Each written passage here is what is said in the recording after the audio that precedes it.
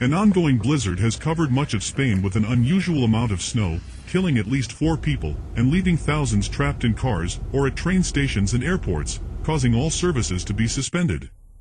The National Weather Agency said that as of 7 a.m., snowfall in Madrid had reached levels unseen in half a century.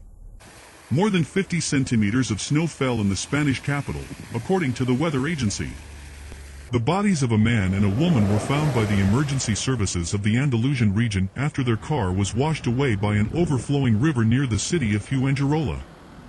The Interior Ministry said a 54-year-old man was also found dead in Madrid under a large pile of snow. A homeless man died of hypothermia in the northern city of Zaragoza, the local police said.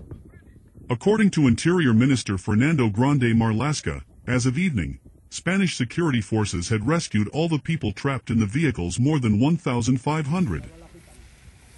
Authorities have warned that some regions will experience more than 24 hours of continuous snowfall due to a strange combination of stagnant cold air mass over the Iberian Peninsula and the arrival of warmer storm phenomena from the south.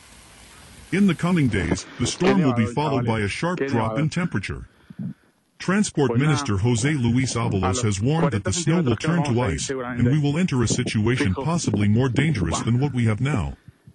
He added that helping those in need is a priority, as well as securing the supply chain for food and other basic goods. The hurricane has surpassed the most pessimistic forecasts we have had, added Abalos.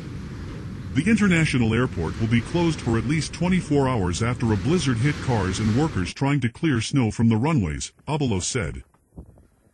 All trains, both commuter and long-distance passenger trains, as well as railway lines between the south and northeast of the country, have been suspended, the railway operator said. The storm caused serious disruptions or closed more than 650 roads, which encouraged people to stay indoors and avoid all non-essential travel, according to Spain's transit authorities. More than 100 roads were still impassable for almost 24 hours after a hurricane covered the central part of the country with snow.